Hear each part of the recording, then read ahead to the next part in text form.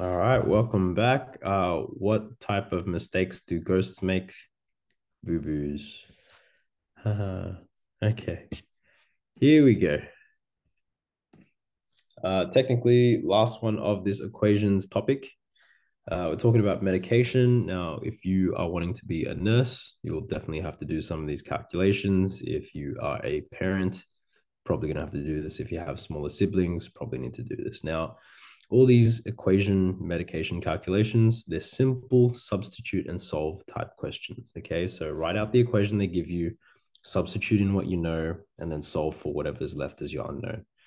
Okay, there's two main types of questions that you generally see. The first one is adjusting for a child dosage. So there's an adult, I don't know, medication that you need to adjust for a child. So you don't want to give them the same dosage.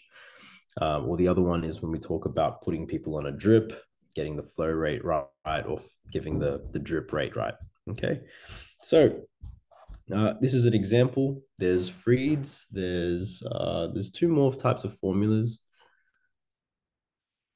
Fried's formula. There's two others, long story short, but all you need to do is make sure you read carefully how the formula works. Now, the dosage, or the child dosage, I should say, is the way that you figure this out is it's got to be age in months you got to know the adult dose and you put it over 150. Okay, now the key thing here is it's going to say in months. Now to calculate the dosage for a two-year-old, you'll start underlining bits and pieces here. Two-year-old and the other adult dosage is 30 mils. Okay, so I'm going to write this out.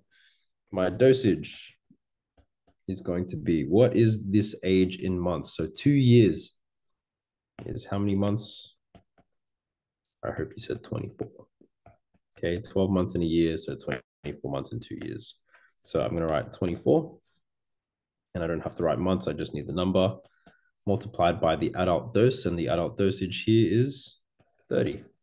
Okay, given by our question, put it all over 150, and let's see what that gives us. 24 times 30 all over 150. And you should get 24 on 5 or be something like 4.8 milliliters. Okay, using that S to D button to change that out. So that means something that you'd, if you give 30 mils, mils to an adult, what you'd give to a two-year-old would be a 4.8 mil dose. Kind of makes sense. Okay, small babies need less medicine. Okay, now the other one here is just more about converting units.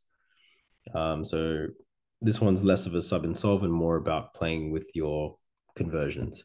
A patient needs 1.5 liters of fluid over six hours. Calculate the flow rate in mils per hour. Okay, so simply the way that I deal with most rate questions is write it as a rate.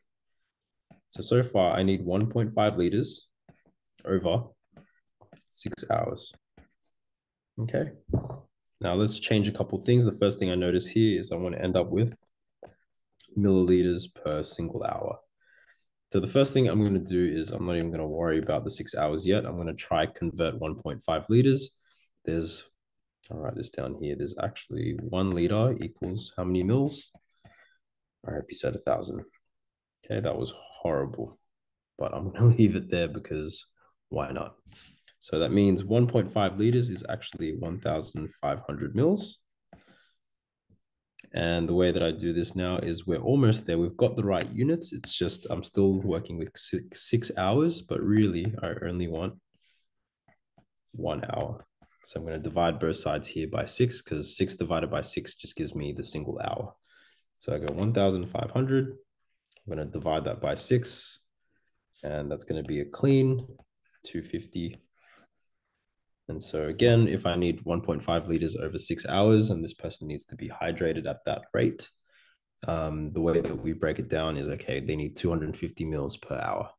Okay. Hopefully that makes sense. Uh, another short one. I'll catch you guys in the next one. Bye.